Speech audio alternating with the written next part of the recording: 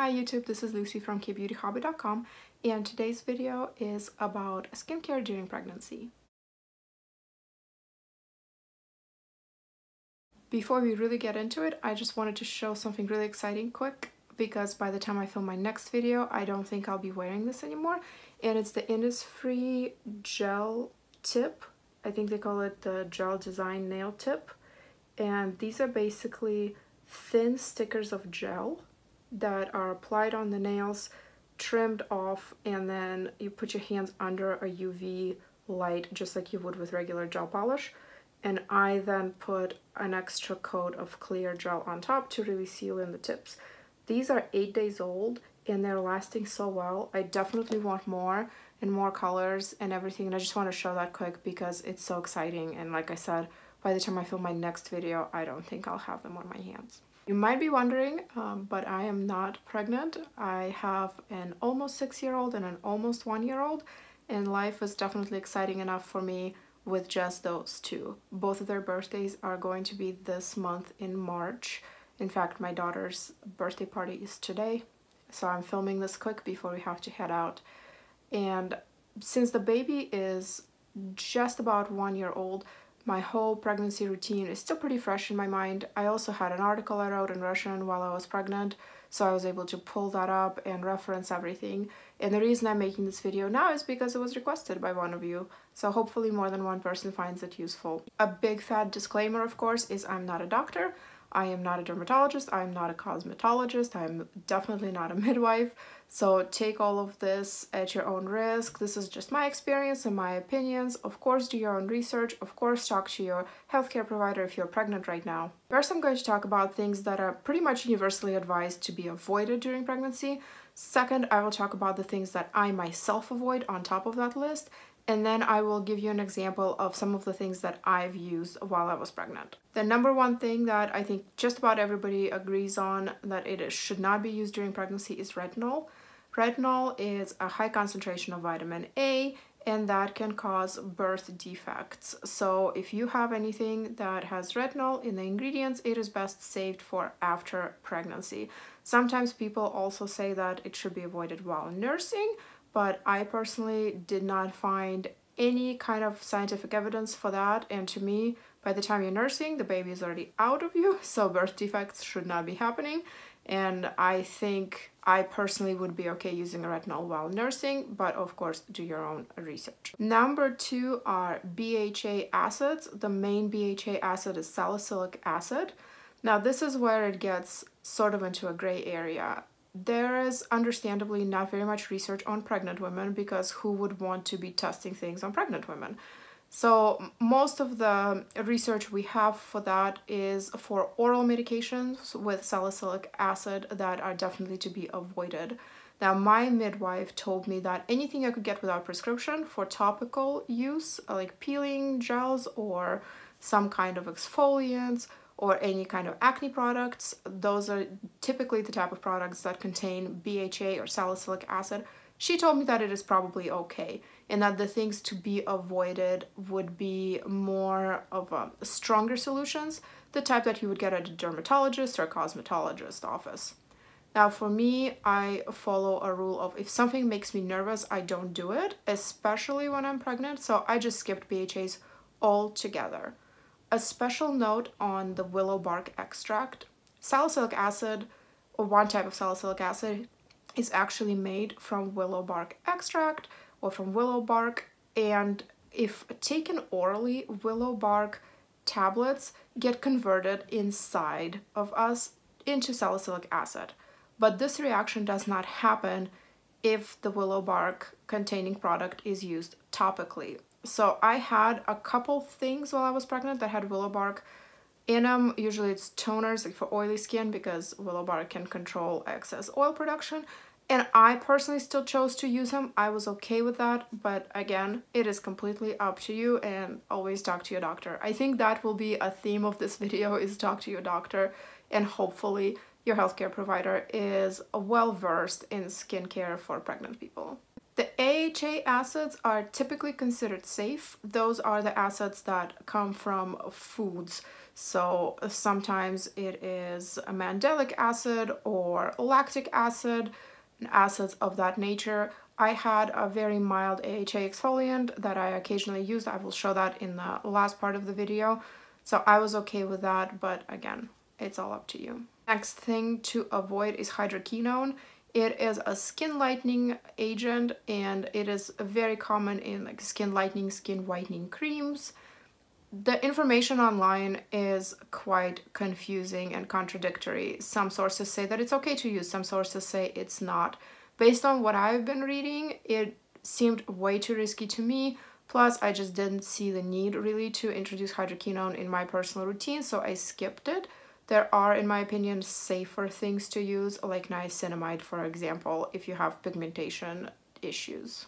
The next thing is kind of skincare related and kind of not. It is microcurrents.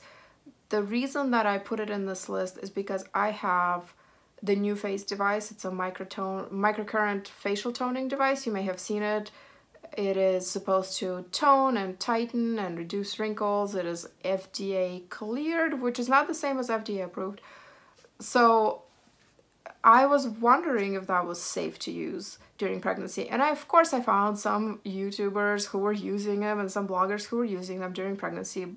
And I couldn't find anything on the website of the manufacturer about it. So I ended up emailing them. And they replied to me saying, no, it is not safe because it's a microcurrent device and the FDA says that microcurrents are not safe during pregnancy.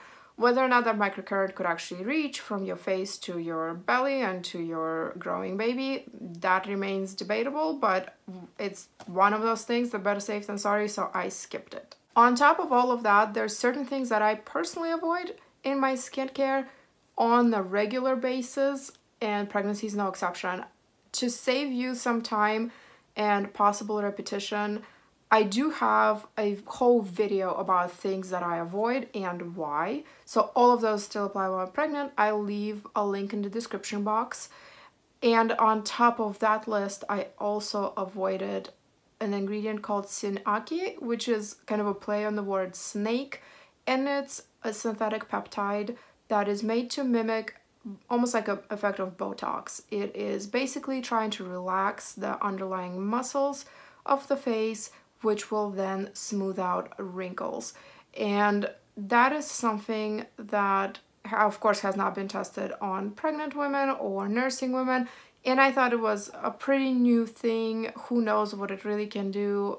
And so I just skipped it because it made me nervous. Now let's talk about the things that I did use a lot of these products, of course, I don't have anymore because my baby's almost one. Some of them I have in duplicates still, but a lot of them are gone. So I will put pictures somewhere in one of these corners of the things I'm talking about and I will put links in the description box where you can get them and then two reviews if I have full reviews on my blog kbeautyhobbit.com.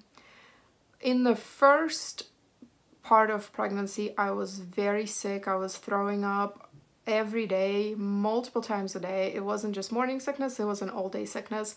And so a lot of times I was just, I just couldn't be bothered to do a full morning routine. I, you know, it's just survival mode. So I used this product by Hyggee and it is an all-in-one I think they call it an all-in-one essence, but it's basically an all-in-one. You apply it to clean skin and it replaces everything from toner all the way to your SPF. So it's all the steps, toner, essence, emulsion, all of that. So you just only apply that and then directly go into SPF.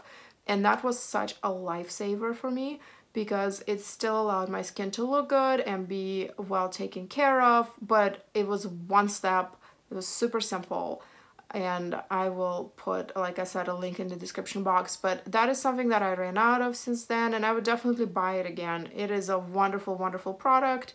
If I remember right, it was a bit on the pricier side, but I thought it was well worth it for me just because it replaced all of those steps and it was very high quality. For cleansing, I used my favorite Huangjisoo cleansing oil and a foaming cleanser. If you've been watching my videos, you've seen these things mentioned a few times because just recently I had some trial sizes of the oil, so they've been kind of featured in my empties videos but at the time that I was pregnant, I had a full-size cleansing oil and a full-size foaming cleanser, and these are wonderful products, all natural, developed by a dermatologist to be suitable for sensitive skin and all skin types, and so it didn't bother my skin and my pregnant senses.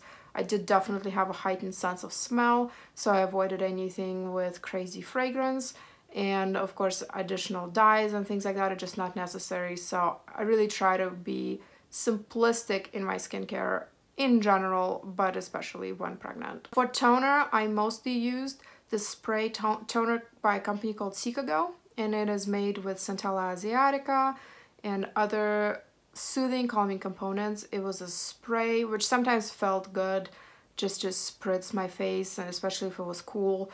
Like I said, I just felt pretty sick for uh, quite a big part of my pregnancy and it calmed down after I think maybe 14 or 15 weeks or so.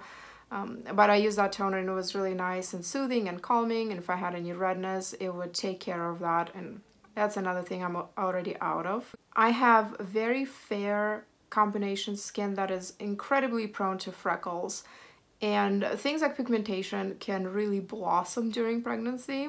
Some people really get melasma, which is a discoloration of the face. Sometimes it's referred to as the mask of pregnancy. I didn't get that, but I still was trying to be proactive. In my early pregnancy, it was summer, and that's when a lot of my freckles pop up. So I used a Manyo Factory niacinamide essence, and it's one of my favorite niacinamide products ever. It is just a clear essence, it's unscented, comes in a glass jar. I'll put a picture up here, but just know that their packaging has changed since then. It's not uncommon for K-beauty brands to revamp their packaging, but as far as I know, the ingredients and the product inside did not change, just the labeling and some of the design elements changed. And it's a wonderful product. It helps kind of reduce the pore size, at least visually. It helps with pigmentation. I really loved it. I would buy it again in a heartbeat. In fact, talking about it right now makes me want to buy it again. For emulsion, I used the Etude House Soon Jung emulsion. It was um, just an unscented, very plain, but very nourishing emulsion that still was light and not heavy. It is made for people with sensitive skin. It is 10 free, so free of 10 potentially controversial ingredients, which are typically the type of things that I avoid in my skincare, like parabens, for example. And it was a lovely emulsion. I didn't always use it in the morning because that Hyggee product, the all-in-one, pretty much replaced everything except sunscreen. But in the evenings, sometimes I would use that, especially in the summer. I didn't always need like a night cream or a sleeping pack. I would just use an emulsion. Sunscreen is important at any time, at any age, at any stage of life, but probably especially when you're pregnant because of that hormonal shift and the basically people becoming more prone to hyperpigmentation when pregnant. At the time, I used the Make P:rem sunscreen and it's probably still my holy grail of sunscreens to be honest. It is such a wonderful texture. It's non-drying, it's non-nano, it's supposed to be reef safe, although to be honest, I am not very well versed in what that means exactly, but okay, great, good for the reefs, why not? I don't have that anymore. I have a couple others that I think would also work that I'll show you. One of them is a favorite of mine. It's a repeat purchase. It is the Etude House Sunprise, Sunprise Mild Airy Finish SPF 50. It is an all mineral sunscreen made for combination to oily skin. This particular one is Olaf edition. But I've owned this, I think, three or four times by now. It is very cost effective. It is non-drying even though it has alcohol in the ingredients and if you're worried about alcohol, I suggest that you watch an awesome video that Lab Muffin just put out about alcohols in skincare and what they do and how they're not really that bad. Um, not as bad as people say, but for me, this never causes any kind of dryness or any issues. I love the finish of it. It is matte but not drying. So I think this would work just fine. It's just at the time I had the Make P:rem, so that's what I was using. And another thing that I'm currently trying, I've been using this for a few weeks and I showed it in I think my morning skincare routine video that I posted a couple weeks ago. But this is the Thank You Farmer Safe Sun Fluid. And that's another all mineral sunscreen. I prefer all mineral sunscreens versus uh, chemical filter sunscreens. And this is I don't think there's a scent at all, and if there is, it's very mild and it has a nice finish. So either of those would work. I think this one is probably the most cost effective as far as sunscreens go. At the time, I was also using this Urang Natural Essence with Rose. And even though it was called Essence, to me, texture-wise, it was more like a serum. It was a gel texture and it came in this luxurious glass bottle and it's all natural. And it just made my hippie tree hugger heart so happy. Uh, it's a wonderful, wonderful product, definitely on the pricier side, but I thought it was worth it and I enjoyed it quite a bit. As far as supplemental non-everyday products, I did use a version of this Laneige sleeping pack. It is scented, but it's not overwhelming and I actually like the scent. And it is pretty much a holy grail, I think, of K-Beauty. I feel like just about every blogger out there talked about it before. It is a gel texture. Very light, nice and hydrating, plumping, just a pleasure to use. If you've never ever tried one, I think it's worth a try because it's such an iconic product. I mean, it's sold everywhere. You can even buy it at Target. It is so well known and this one is the original version. There's also a lavender version that I've had in a little sample pack before and the only difference really is the scent and I think the lavender one is more purple in color. This one is more blue. So I use that occasionally. And then, uh, like I mentioned, the AHA product for occasional very, very gentle exfoliation. And it's this one. It is by Wishtrend mandelic acid. It is meant to be used after cleansing, kind of as a toner. Fair warning, it does sting a little bit. It is a 5% mandelic acid, which is a fairly low concentration, if I understand it correctly. And this the little stinging is definitely not painful, and to me it's not unpleasant. However, I recently gave a friend a little sample of this, and she didn't like the stinging at all and she said she wasn't going to finish her sample. And for a more traditional peeling, I use the Nature Republic Cranberry Peeling Gel, which is a very interesting product. It doesn't, it's called a peeling gel, but it doesn't peel like most peeling gels do. So it doesn't form these little pieces of cellulose when you use it, but it still exfoliated really well and it smelled really wonderful. And I was using it, I think, mostly throughout the winter winter time, like fall and winter when everything turns into pumpkin spice and cranberry in the United States. And so it, it really went well with that theme and I really enjoyed it. I'm out of that one as well. All of the products I mentioned, it's not like you have to use those. There's so many different options for everything. I just personally preferred things with very little to no fragrance, very little to no added colors, and just kind of what I would think of as plain vanilla things. Nothing too crazy, nothing too intense. I just tried to preserve the state of my skin. I wasn't really, I didn't have any aggressive goals of like making my skin better while pregnant. I just wanted it to not get worse. In those first about 12 weeks or so is pure survival mode. I mean, between nausea and bloating and pants not fitting anymore but you still not wanting to announce the pregnancy and being tired all the time. I mean i had enough on my plate so it was just survival mode at that point. Thank you very much for watching. I hope this was useful to you. If you're currently pregnant happy pregnancy. I hope you're enjoying this time. I know so many people will say enjoy it. You'll miss it but I also want to take a moment to recognize that it's very difficult. It is a hard time, it is confusing, there are hormones, body changes, nausea, sleep problems. There's so many things that are challenging and the society might be telling you, oh, enjoy this wonderful time and it might be hard for you. So I just want to take a moment to recognize that I see you and I hear you and I've been there. Just like being a mom to a small baby, people tell you to bottle it up, to enjoy every moment because it's so fleeting. And yes, it is. And there's so many wonderful moments, but there are also so many difficult moments. There's sleep deprivation and feeling like you never have time to yourself and all these changes. So you're not alone. And if you want to chat, reach out or leave me a comment. You can find me on kbeautyhobbit.com, on Facebook in Korean Beauty Fanatics group, on Instagram at kbeautyhobbit. I hope you're having a wonderful week. I will see you next Saturday. And until then, please remember to always listen to your skin. Thank you so much.